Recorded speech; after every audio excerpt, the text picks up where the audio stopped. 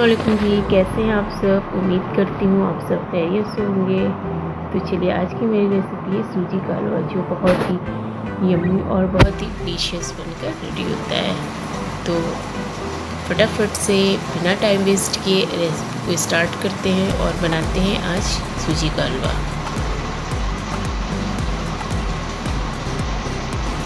ये बहुत ही कम टाइम में और झटपट से रेडी होने वाला है। जब भी आप उसका कुछ खाने को मीठा मन करे तो फटक से, फटाफट से बनाएँ। सूजी का हलवा जो बहुत ही इजी और बहुत ही कम टाइम में ये बनकर रेडी हो जाता है। इसमें कोई भी बहुत ही कम टाइम लगता है। कोई मुश्किल नहीं होता है इसे बनाने में और बहुत इजी होता है। तो चलिए फट, अब अपनी रेसिपी स्टार्ट करते हैं। यहाँ पे मैंने मोटे तले की कढ़ाई ली है। इसमें मैं थ्री से फोर टेबल स्पून देसी घी डालूँगी। मैंने देसी घी डाल दिया है, ये गर्म हो गया है। तो अब मैं उसमें कुछ ड्राई फ्रूट्स डालूँगी। मैं आधा कप काजू ऐड करूँगी और आधा कप यहाँ पे मैं बादाम ऐड करूँगी। और आधा कप के करीब मैं इसमें किशमिश डालूँगी। और इन तीनों चीज़ों को मैं अच्छे से फ्राई करूँगी। कुछ मिनट के लिए इसे अच्छे से रोस्ट करूँगी।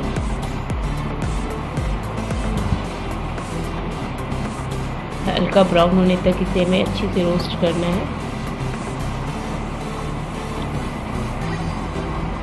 फ्लेम को हमें मीडियम ही रखना है।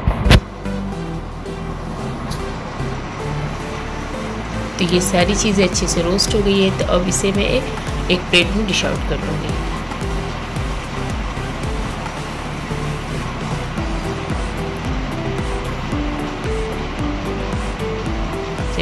निकाल लिया। सारे ड्राई फ्रूट्स को मैंने निकाल लिया। अब इसमें फिर से मैं फोर से फाइव टेबल स्पून के करीब देसी घी ऐड करूँगी। सेम कढ़ाई में।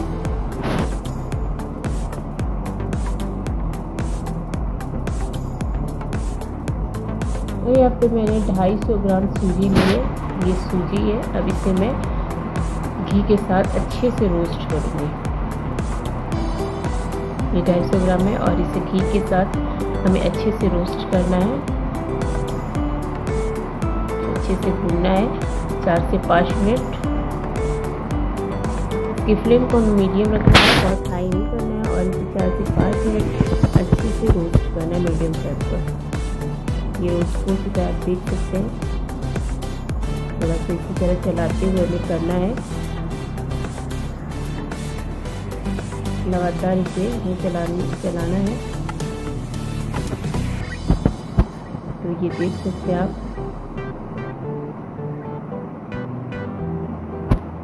कंटिन्यू हमें इसे चलाते हुए रोस्ट करना है।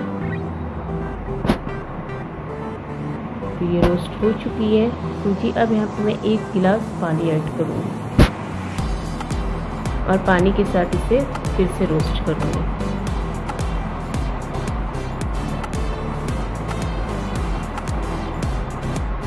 तो फिर से मैं आधा गिलास और पानी डालूँगी और इसे अच्छे से रोस्ट करूँगी। ढक दूँगी और दो से तीन मिनट के लिए इसे ढककर पकाऊँगी। इससे क्या है? सूजी अच्छे से गल जाएगी। तो तीन मिनट हो चुका है और आप देख सकते हैं कि सूजी जो है वो फुलकर की ज़्यादा लगने लगी है। ये मैंने 250 ग्राम सूजी दी थी, लेकिन इसमें पानी ऐड करने के बाद इसकी जो कैन वो है क्वांटिटी ये बढ़ गई है। तो अब इस पॉइंट पे मैं इसमें 250 ग्राम चीनी डालूँगी। ये देखिए, इस मेज़रमेंट के हिसाब से मैं इसमें 250 ग्राम चीनी डालूँगी। अगर आप मीठा ज़्यादा खाना पसंद करते हैं तो इसमें 300 ग्राम चीनी ऐड कर सकते हैं। और इस चीनी के साथ इसे मैं फिर से अच्छे से पाँच मिनट रोस्ट करूँगी।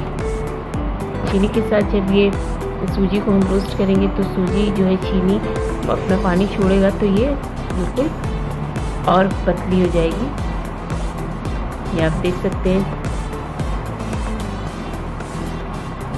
इसी तरह से हमें चलाते हुए इसे रोस्ट करना है और फ्लेम को हमें बिल्कुल मीडियम रखना है। फ्लेम को हमें हाई नहीं रखना है। तो ये देख सकते हैं। और इस पॉइंट पे हमें फिर से घी अगर कम लगे तो हमें इस पॉइंट पे फिर से घी ऐड करना है। तो मुझे घी कम लग रहा था तो मैंने टू टेबल स्पून के करीब फिर से घी ऐड किया है। और इसी के साथ फिर से इसे अच्छे से हम रोस्ट करेंगे। जितने अच्छे से ये रोस्ट होकर कुक होगा, ये उतनी ही टेस्टी बनेगा और बहुत ही यम्मी लगेगा खाने में। और इसे हमें कंटिन्यू चलाते हुए रोस्ट करना है। इस तरीके से। अब यहाँ पे मैं आधा कप केसर वाला दूध इसमें डालूँगी। इससे इसका फ्लेवर जो बहुत ही ज़बरदस्त और बहुत ही जायके वाला होता है। बहुत टेस्टी ये हलवा बनकर रेडी होता है सूजी का।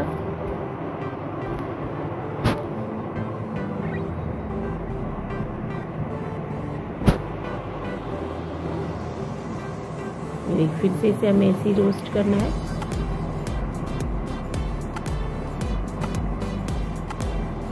अब मैंने जो ड्राई फ्रूट्स पहले से रखे थे फ्राई करके वो इसमें ऐड कर दूँगी और कुछ ड्राई फ्रूट्स में गार्निशिंग के लिए बचा कर रखूँगी।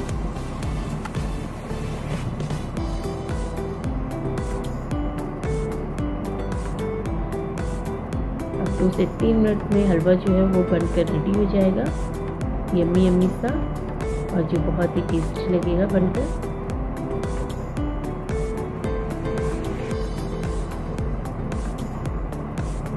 ये हमें रोस्ट करते हुए इसे भूनना है।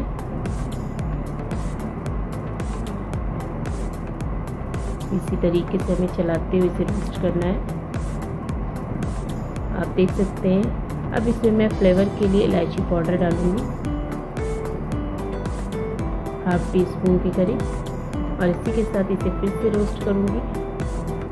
दो मिनट। और इसके बाद इसकी फ्लेम को मैं ऑफ़ कर दूँगी। और इसे ठंडा होने के लिए साइड पे रख दूँगी। इस पॉइंट पे आप देख सकते हैं। हलवा जो है बहुत अच्छे से सूजी जो है गल गई है और बहुत अच्छे से ये पक भी गया है तो अब इस पॉइंट पे हम इसके फ्लेम को ऑफ़ कर देंगे और इसे साइड पर रख देंगे। इसे मैं डिश आउट कर कर आपको दिखाती हूँ।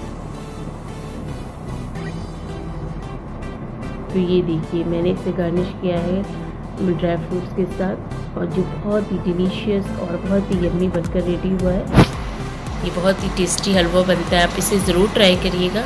और हलवा पसंद आए तो मेरी जो हलवे वाली रेसिपी है, आपको पसंद आए तो कमेंट्स में मुझे फीडबैक ज़रूर दीजिएगा और मेरे वीडियो को लाइक करना, मेरे चैनल को सब्सक्राइब करना बिल्कुल ना भूलें। और वीडियो पसंद आए तो इसे बहुत सारा लाइक करें।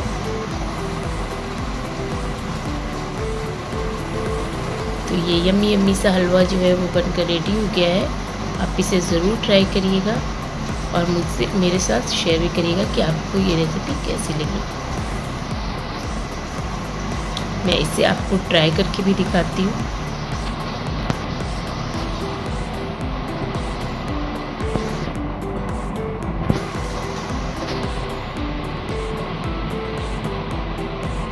बहुत ही लाजवाब, बहुत ही टेस्टी बना है। चलिए मैं ट्राई करती हूँ और आपके साथ शेयर करती हूँ कि ये कैसा बना है। वीडियो पसंद आए तो इसे बहुत सारा लाइक करें। साथ टेक्स्ट रेसिपी के साथ फिर से मुलाकात होगी। तब तक के लिए थैंक्स फॉर वॉचिंग अल्लाह हाफिज़। दुआ में याद रखिएगा। Bye bye